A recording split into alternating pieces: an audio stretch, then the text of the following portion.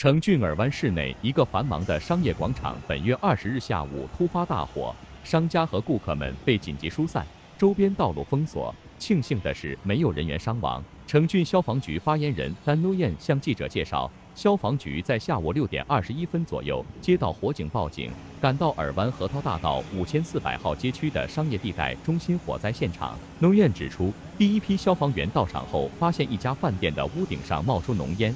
他们要求支援更多消防员到场救火。灭火的重点工作是阻止火势沿着房顶蔓延到其他商家。消防员目前已经控制了火势，火灾的原因仍在调查中。A fire in a uh, strip center here. Um, we arrived at the 5400 block of Walnut Avenue in the city of Irvine. Uh, our first crew found heavy smoke from one business on the roof.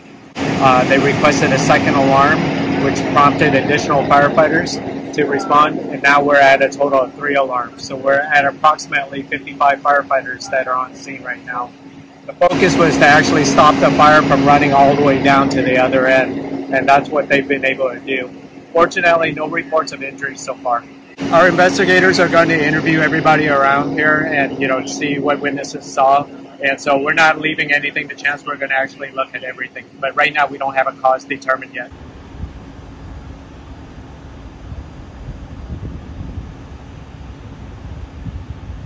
If you were planning on coming to the shopping center, today's not a good day. 消防局表示，目前的救火以及后续的火灾调查工作仍需要一段时间，因此周围的道路封锁，希望尔湾民众可以避开该区域。